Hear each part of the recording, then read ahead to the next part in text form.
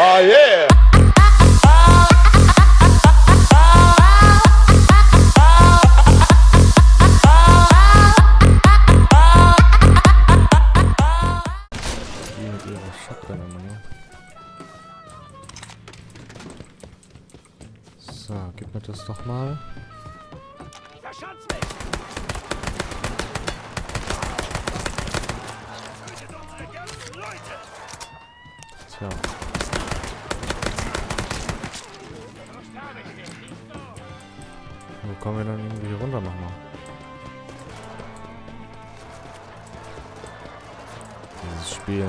Manchmal echt zu sehr verbuggt.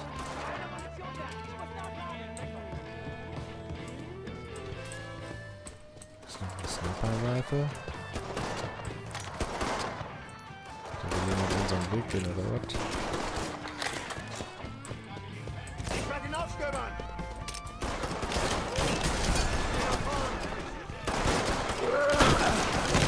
Alter, mit der, der Schatze.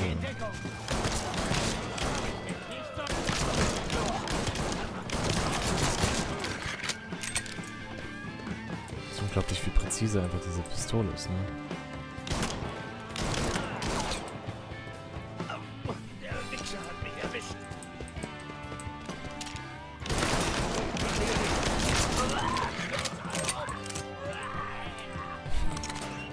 Ich stirb langsam.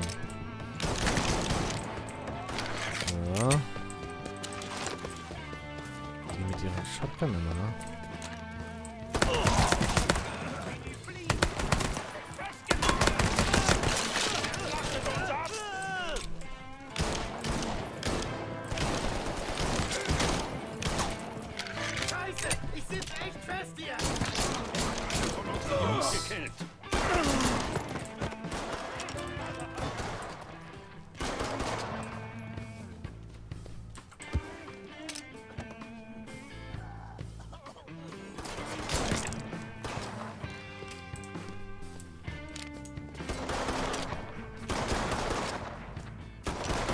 Ist der denn?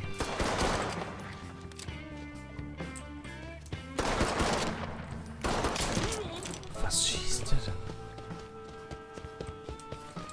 Also ich dachte wenigstens schießt mich irgendwie jemand an oder so. Nix.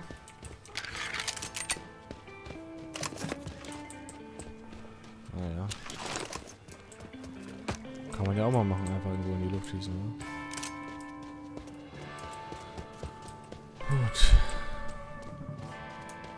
So, jetzt gehen wir noch dahin. Geld. Geld hier überlegt. Hier ist noch Geld, da ist noch Geld. Überall Money. Verfickte Scheiße. Na, zufrieden? Alter, ich bin begeistert. Bring mich dahin, dann leiste ich einen finanziellen Beitrag zu deinem Vorhaben. Das Tor ist blockiert, aber ich wette, wir können durchbrechen. Was ist mit dem Bart? Der Tunnel, deine Entscheidung.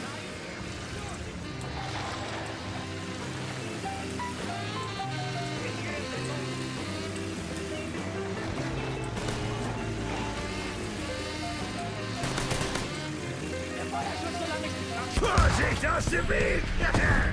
uh, genau rechtzeitig!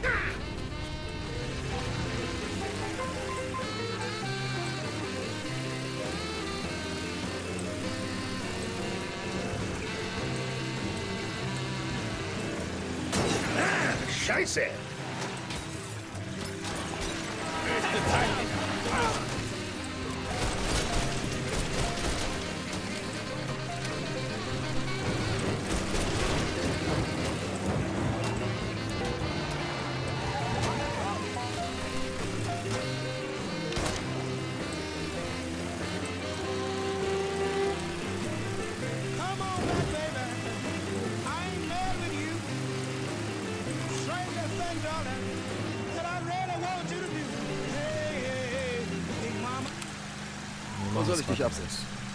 Da so ein Mädel, Henrietta. Ist im Karussellhotel abgestiegen. Scharf wie eine Rasierklinge. Hab eine Notfalltasche bei ihr gelassen. Sollte alles Nötige drin sein, um klarzukommen. Na, dann bist du ja versorgt. Also ich und Sammy damals, wir hatten zwei so heiße Bräute dabei. Wir haben gesoffen, gefeiert, richtig auf den Putz gehauen. Das war äh, 1942. Äh, nein, nein, nein, äh, 43. Er muss so alt gewesen sein wie du jetzt. Und die Kleine von deinem Alten fängt an rumzumachen. Aber sie hat ein Problem. Sammy ist bewusstlos. Wie gesagt, er war hackedicht. Aber die Kleine steht auf ihn. Also hat er erstmal einen Vertrauensbonus. Sie versucht's weiter. Haut ihm ein paar rein, macht ihn wach. Aber jedes Mal, wenn sie loslegt, gibt Sammy wieder um. Der arme Teufel wäre nicht wach geblieben, wenn es um sein Leben gegangen wäre. Schließlich hatte sie genug, stürmte raus und hörte nicht mehr auf zu fluchen. Und weißt du auch, wer die Frau war? Perla. Himmelmann. Perla ist erst 44 nach New Bordeaux gezogen. Ich zeig dir, wer das war. Ich habe ihr Foto gleich hier. Willst mich verarschen? Ich glaube, ich habe mich vollgepisst. willst mich verarschen? Zwischen Sammy und der ging? Sie war auf der Durchreise, wollte nach Hollywood. Naja, letzten Endes hat es ja dann doch noch geklappt. Sammy bekam Perla. Geliebt. Ja, da vorne ist es gut.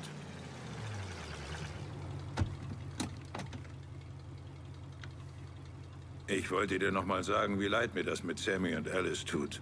Weiß ich zu schätzen.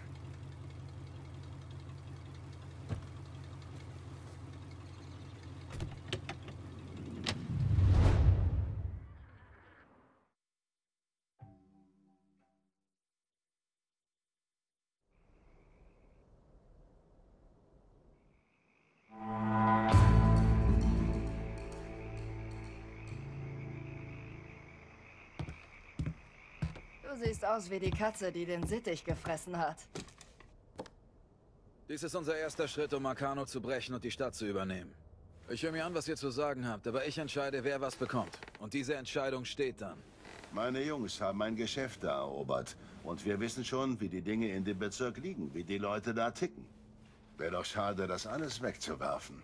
Abgesehen von dem winzigen Detail, dass meine Leute den Laden klar gemacht haben. Und zwar entschieden stilvoller. Was für ein Scheiß. Hör mal, Kumpel. Mach dir einfach klar, wer der beste Mann für dieses Viertel ist. Das bin ich. Ganz klar. Das Treffen. Du hast die Geschäfte in diesem Bezirk schon verteilt, aber nun musst du dem Bezirk selber einen deiner Unterbusse zuweisen. Der Unterbus, dem du den Bezirk überlässt, bekommt auch automatisch die Kontrolle über die Geschäfte. Wenn du einen Unterboss einem Bezirk überlässt, schalt, schaltes, schaltet das nicht mehr nur mehr Gefallen und einen höheren Kickback frei, er steigert auch deine Loyalität dir gegenüber. Die Unterbosse können es dir übel nehmen, wenn sie keine Bezirke zugewiesen bekommen, was später unter Konsequenzen haben könnte, aber du wirst wirklich das Maximum aus einem einzelnen Unterboss rausholen willst, musst du schwere Entscheidungen treffen. Lass mich nicht im Regen stehen, Junge. Ja gut, ich würde jetzt gerne wissen, wo der Bezirk ist, damit, äh, Hier gibt's nur einen klugen Zug. Partner. Wenn du mir erst ein Gebiet in Aussicht stellst und es mir dann wieder wegnimmst, dann wird das nichts mit uns. So viel kann ich dir sagen. gefallen, die Kosten für deinen nächsten Anruf werden übernommen, bla bla. Äh, Rauchbombe aus. Und wie Okay. sieht's aus? Erholung, Sprinte und Schwimmelänge und erhole dich schneller. Mhm, mhm. Äh, Kickback, Wir ja. zwei, wir verstehen uns eben, was?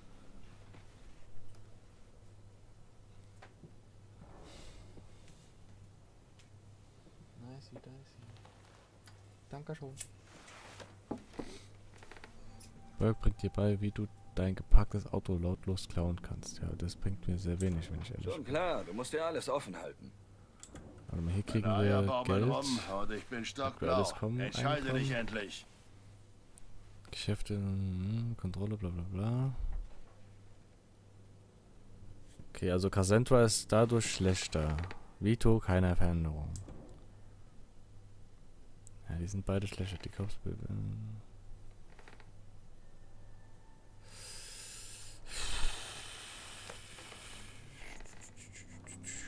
Da haben wir eine schaltgedämpfte Pistole halt, ne? Das wäre schon geil. Du weißt, dass ich damit klarkomme. Also Vito ist, glaube ich, diesmal am besten. Vito ist der Mann für diese Gegend. Wurde auch mal Zeit. Ich wusste immer, du hast was in der Birne. Wieso rufst du meine Männer in ein Viertel, wenn du es ihnen dann nicht geben willst? Wenn du von vornherein schon weißt, wie du es halten willst, dann sag's doch einfach. Und verplepper hier nicht meine Zeit, Mann. Das war's für jetzt. Ich melde mich, wenn ich was brauche.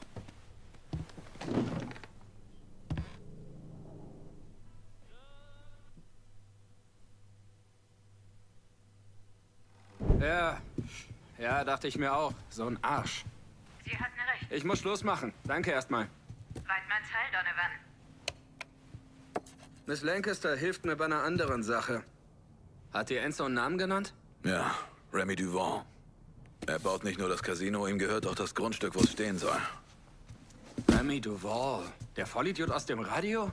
Ja, seine Familie lebt schon seit etlichen Generationen hier und er hält sich für den großen Massa. Nach dem, was hier steht, leitet er nebenbei auch noch die Southern Union. Und die ist quasi das gleiche wie der verschissene Clan. Kurz bevor ich nach Nam bin, haben Pater James und ein paar andere dagegen protestiert, dass es in der Stadt keine schwarzen Cops gibt. Die Southern Union kam und hat jeden verdroschen, den sie in die Finger gekriegt haben. Am nächsten Tag haben sie dann Gott hasst Nigger auf die Fassade seiner Kirche gesprüht. Hätte Präsident Andrew Johnson die Verräter damals hinrichten lassen, dann gäb's das ganze Scheißproblem jetzt nicht. Enzo hat außerdem Olivia Marcano erwähnt. Olivia ist ein Sonderfall. Altes Südstaatengeld. Sie war mal mit Sals Bruder Lucho verheiratet, bis ihm einer die Kehle aufgeschlitzt hat. Und sie hat das Sagen in Frisco Fields? Ja, seit Lucho tot ist. Sie hat den Drogenhandel ausgebaut und ein PCP-Labor eingerichtet. Dort oben leben eine Menge Mafiosi. Wahrscheinlich hat sie dort sowas wie einen Treffpunkt. Wahrscheinlich irgendein Hinterzimmer. Ich wusste nicht, dass die Mafia weibliche Kapos hat. Sie ist da, um auf Duval aufzupassen. So wie ich das kenne, hören Bonzenwichser nur auf andere Bonzenwichser. Wen schnappst du dir zuerst? Duval. Auf seinem Land wird das Casino gebaut. Sein Tod macht ihr da alle schön nervös. Willst du ihn rauslocken, indem du Olivias Geschäfte störst? Weißt du, ich kenne solche rassistischen Arschlöcher schon mein ganzes Leben. Wenn Schwarzer kommt und diesen weißen Pissern auf den Sack geht, das kann er niemals auf sich sitzen lassen. Der Mann ist zu stolz. Hey, der Bourbon war nicht billig. Viel Erfolg.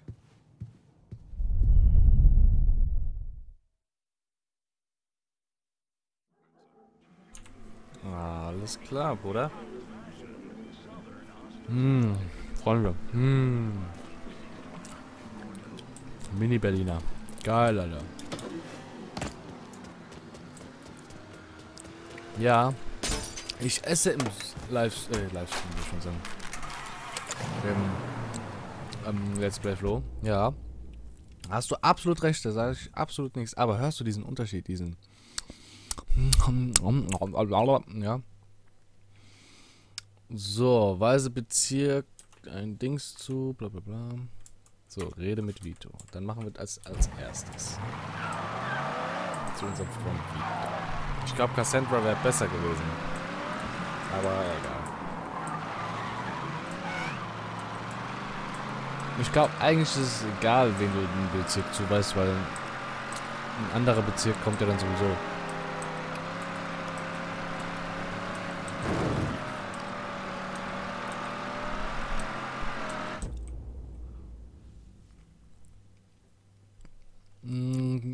Du hast die Kon äh, Insider ergänzt. Mm, Jetzt kannst du auch ohne Abhörgeräte alle Gegner in der Nähe mm, Informationen sich sehen.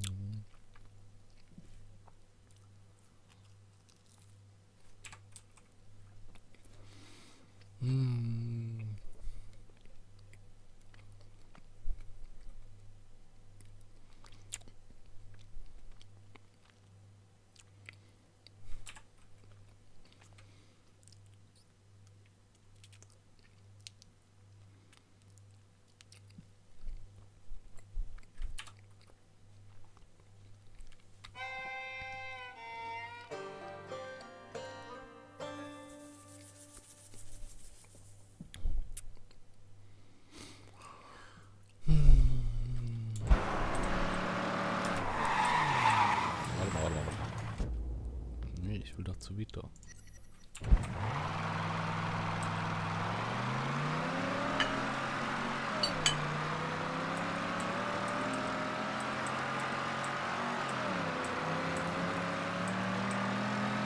Ich brauche einen Gefallen. Das machen wir jetzt aber als erstes.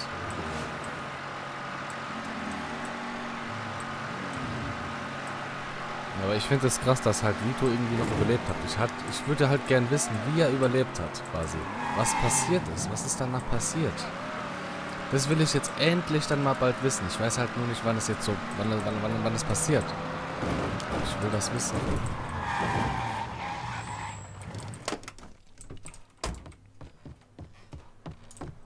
Wisst ihr, was ich meine? Ist doch verständlich, glaube ich, oder?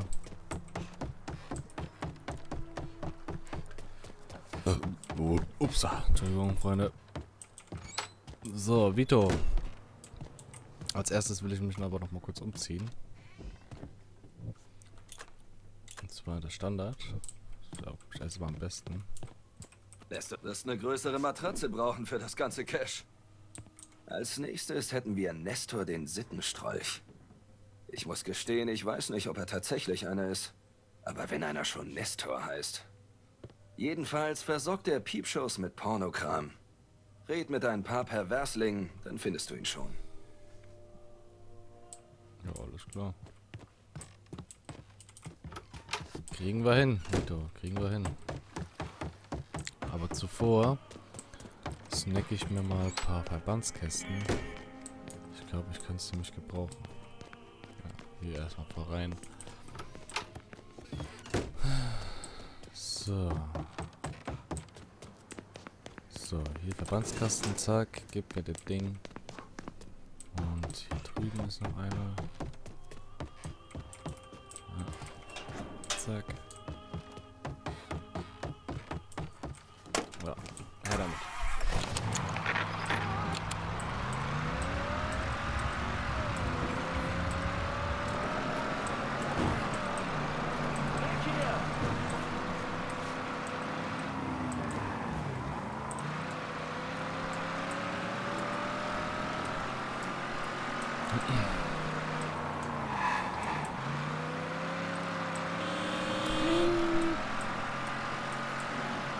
So, dann fragen wir mal alte Crew.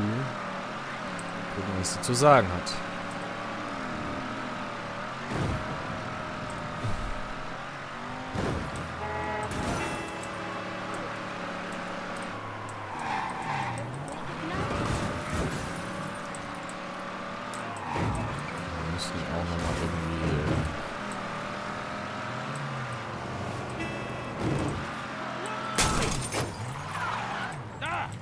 Schnappt ihn euch!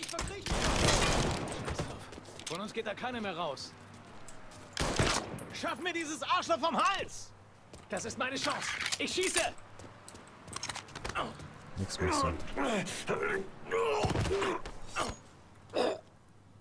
Wo finde ich Nestor, diesen Wichser? Nestor soll hier angeblich ein paar der Kabinen klar machen, aber er hat mir nicht gesagt, wann. Das hilft enorm, danke.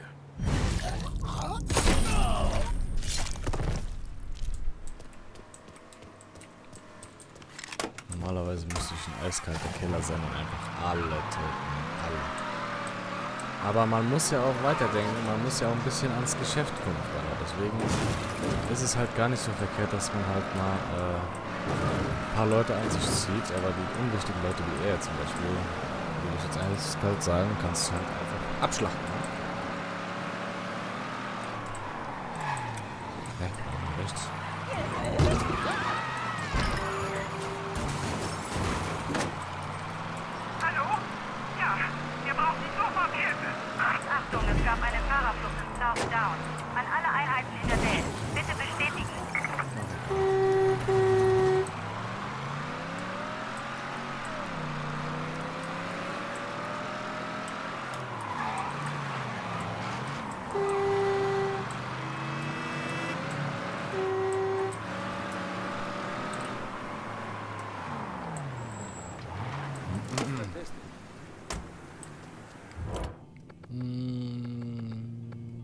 Lass uns was von dem Bargeld einbunkern.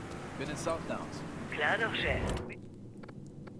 Ich könnte hier in South Downs eine Lieferung gebrauchen.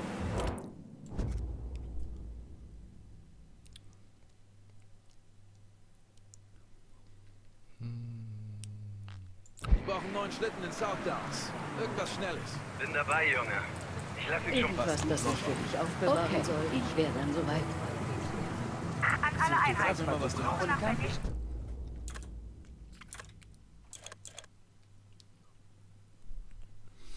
Das Problem ist halt, die Scheißdinger machen so viel Schaden.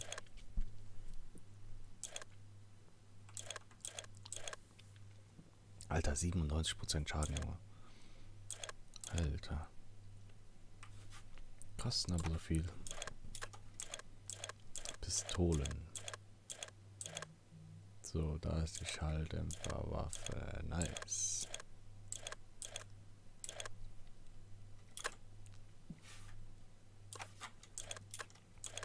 Automatisches Dings. Haben wir jetzt endlich mal hier neue Waffen.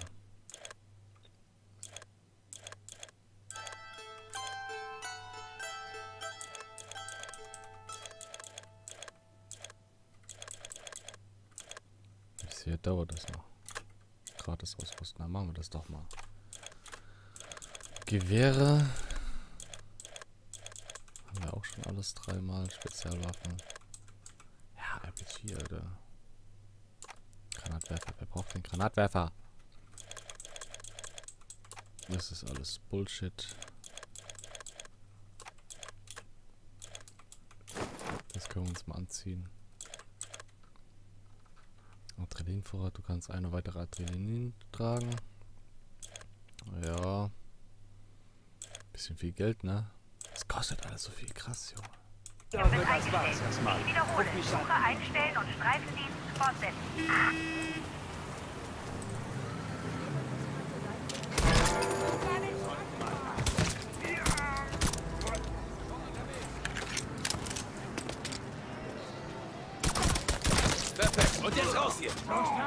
Nicht, so? Der schlachtet uns ab!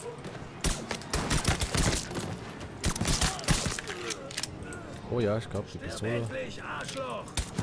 Ja, und Feuer! Ja, mir Deckung, Leute!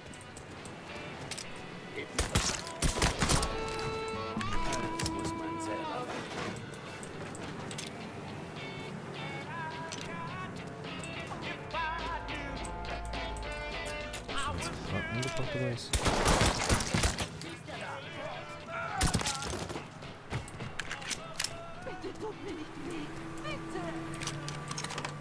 Korrekt. Oh, der Sound, Alter. Oh.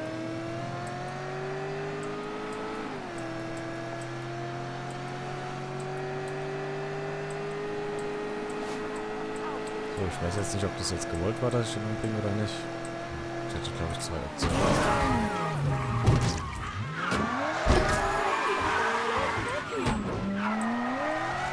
Aber egal. Warte mal, da ist ein bisschen viel Action. Alter. Da will ich doch mal einen Besuch abstatten, würde ich sagen. Oder? Oder was haltet ihr Hey, ist das eine Schusswaffe? Ja, ist es. Trägt der Bursche da eine Waffe? Ja.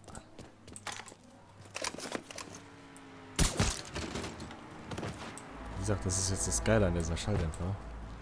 Dass du hier problemlos rein kannst.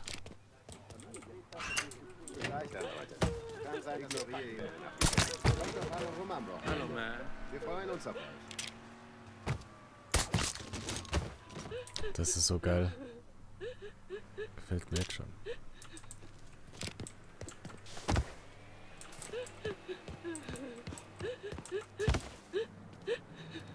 Solange die alle ruhig stehen,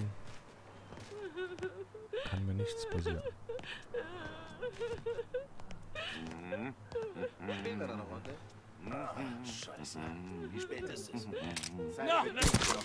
Verloren? Damit ich mein Geld zurückgewinnen kann. Okay, aber nicht allein. Vielleicht ist er hier drüben? Das war dumm, leider.